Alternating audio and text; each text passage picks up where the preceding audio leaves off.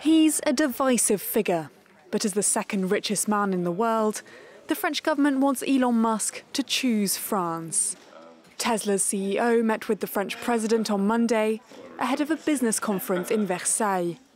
And he still needs some convincing before he shows France part of his billion dollar fortune. But the government is determined to make it happen. Euh, All of the investments that are made are the result of months or years of negotiations. A multi billion euro investment doesn't happen because a CEO comes to Versailles, says it looks nice here, and forks out 2 billion euros. That's not how it works. It comes after months and years of negotiations. Attracting foreign investors is precisely the aim of the Choose France conference. It's a cause close to Macron's heart, whose corporate tax reforms have led to some results.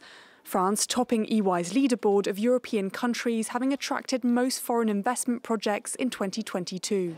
This year, the summit is centred around two main themes the response to American protectionism and the emergence of greener industries.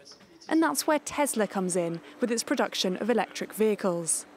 As it stands, Musk's business only has one factory in Europe, and it's located in Germany.